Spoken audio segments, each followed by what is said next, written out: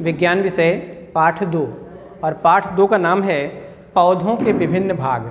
आज हम इस वीडियो में पौधों के भागों के बारे में पढ़ेंगे। तो आप सभी ने अपने आसपास में अनेक प्रकार के पौधों को देखा होगा। छोटे पौधे, बड़े पौधे, चाहे आम का पौधा हो, चाहे वो नीम का पौधा हो, चाहे वो गुलाब का पौधा हो, चाहे कोई घास हो, यानी वो कोई छोटा से छोटा पौधा हो या बड़े से बड़ा पौधा हो। आपने सभी प्रकार के पौधे देखे होंगे।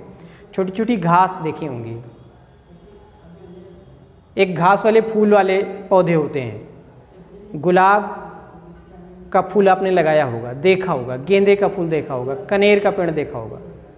फिर उससे बड़े पेड़ों पे चलें तो आपने अमरूद का पेड़ देखा होगा, बेर का पेड़ देखा होगा, और बड़े पेड़ों पे चलें तो आपने नीम का पेड़ देखा होगा, आपने आम का पेड़ देखा होगा अगर हम और बड़े पेड़ों को देखना चाहें तो आपने बरगद का पेड़ देखा होगा, आपने पीपल का पेड़ देखा होगा, आपने यूकेलिप्टस का पेड़ देखा होगा।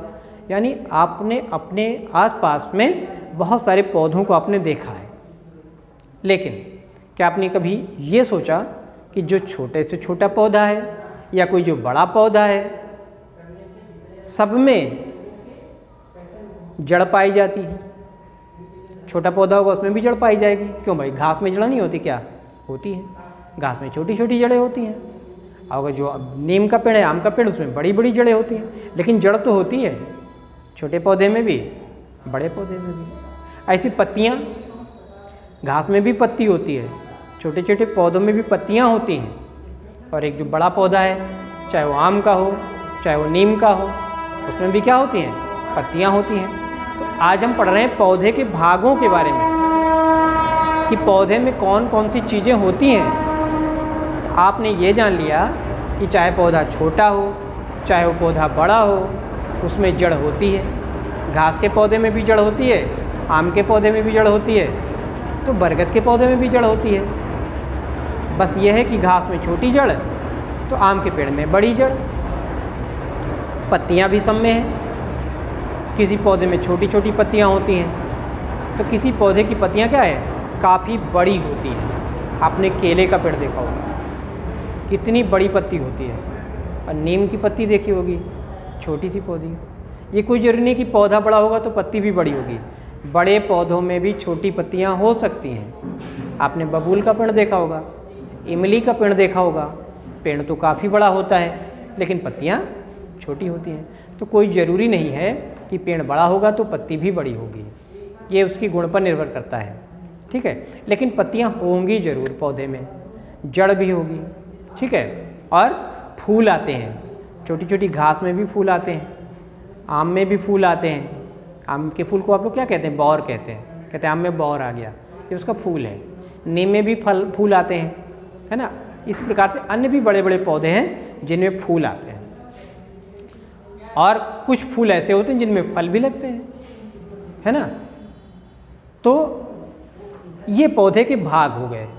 जड़, तना, पत्ती, फूल और फल। ये पौधे में पाँच चीज़ें पाई जाती हैं सभी पौधों में। वो पौधा चाहे छोटा हो, वो पौधा बड़ा हो, ये पाँच चीज़ें उसमें पाई जाएँगी। जड़ पाई जाएगी, तना, पत्ती, फूल और फल पाए जाएँगे। ये सभी पौधों में होंगे। हमने एक चित्र बनाया है एक पौधे का।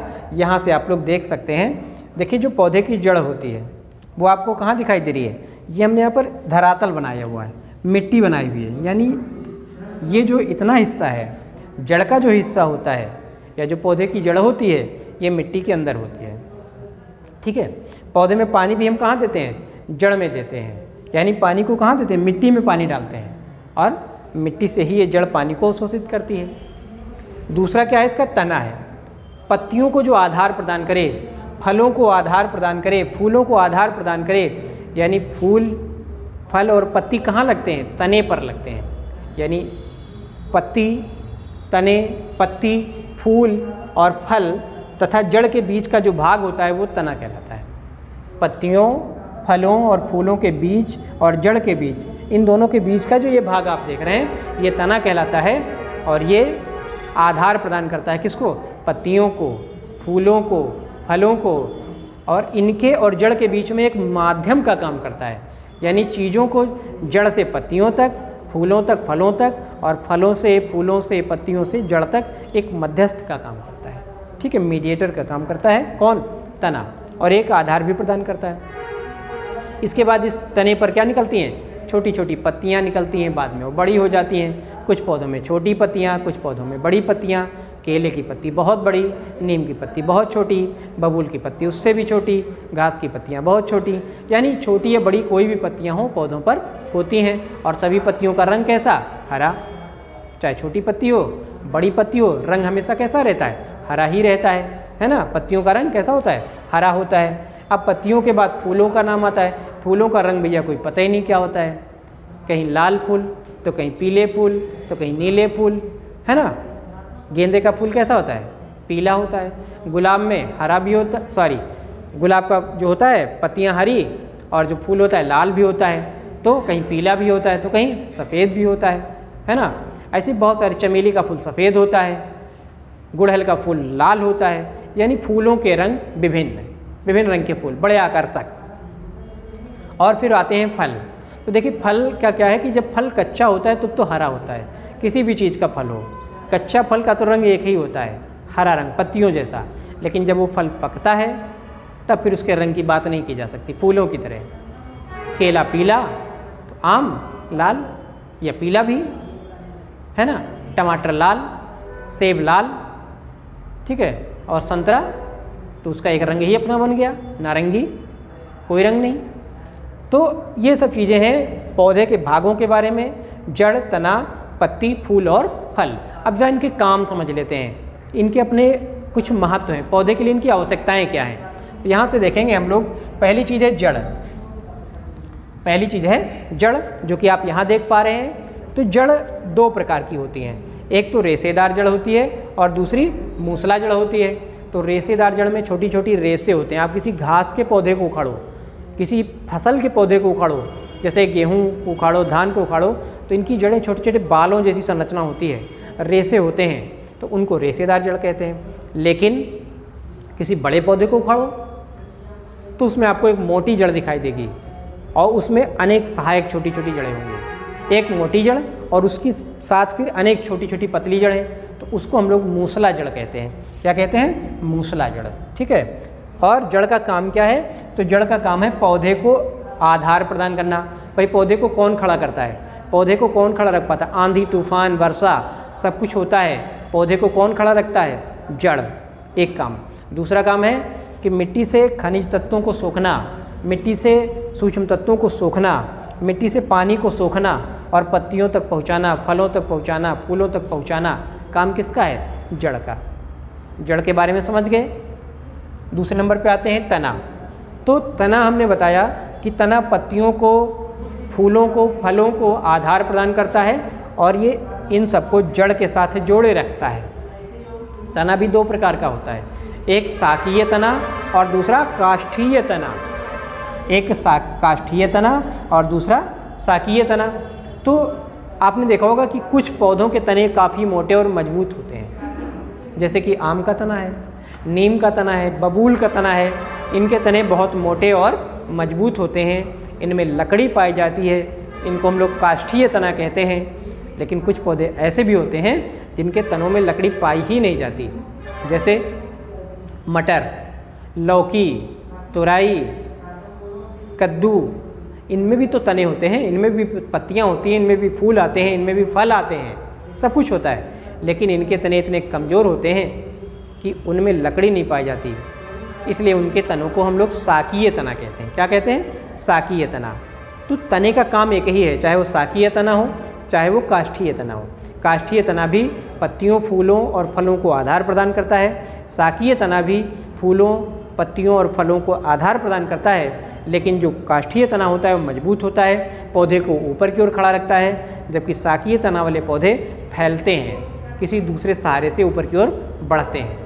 ठीक है? और तीसरे नंबर पे आता है पत्ती। पत्ती पौधे का एक महत्वपूर्ण भाग है। सभी पत्तियों का रंग हरा होता है और ये हरी पत्तियाँ पौधे के लिए खाना बनाने का काम करती हैं। अगर पौधे में कहा जाए खाना कहाँ बनता है तो पत्ती में बनता है। पत्तियाँ पौधों के लिए खाना बनाती हैं। इनको पौधों का रसोई घर भी कहते हैं। हमारे आपके रसोई घर में खाना बनता है? जी, बिल्कुल बनता है। तो पत्तियों में भी खाना बनता है। किसके लिए? पौधों के लिए। है ना? और पत्ती में अगर आप देखें तो पत्ती में एक छोटा सा डंठल होता है, जिसकी सहायता से वो तने से जुड़ी होती है। पूरी पत्ती तो नहीं जुड़ी होती। पत्ती से निकलने वाली एक डंठल, वो पेड़ से जुड़ी होती है, तने से जुड़ी होती है। तो उस छोटे से डंठल को, जिसकी सहायता से वो तने से जुड़ती है, उसको हम लोग पर्णवृंत कहते हैं। क्या कहते हैं? पर्णवृंत। यहाँ पे लिखा गया है, पर्णवृंत या पत्रवृंत। है ना? पत्र वृंत कहते हैं या पर्णवृंत कहते हैं, उस डंठल को जिसकी सहायता से पत्ती तने से जुड़ी होती है। ठीक है, दूसरे नंबर पे आता है मध्य सिरा। अब पत्ती के बीच में देखें तो एक लाइन से खिंची रहती है।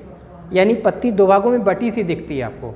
कोई भी पत्ती देखोगे तो उसके बीच में एक लाइन से खिंची रहती है। वो पत्ती दो भागों में बटी होती है और वो बीच की जो लाइन होती है, उसी को हम लोग मध्य सिरा के नाम से जानते हैं। वहाँ से अगर पत्ती को मोड़ो तो दो बराबर भागों में पत्ती मुड़ जाती है। तो उसी बीच वाले भाग को गहरे रंग का दिखाई देता है वो, उसी को हम लोग मध्य सिरा कहते हैं। और जो पत्ती का किनारा होता है, उसको हम लोग शिखाग्र कहते हैं। पत्ती के किनारे को हम लोग क्या कहते हैं? शिखाग्र कहते हैं। तो ये हो गया पत्ती के बारे में। और दूसरी चीज़ हमने समझ ली कि सभी पत्तियाँ हरी होती हैं और ये पत्तियाँ पौधे के लिए भोजन बनाने का काम करती हैं। फिर बात आती है फूलों की। तो फूल भी क्या है?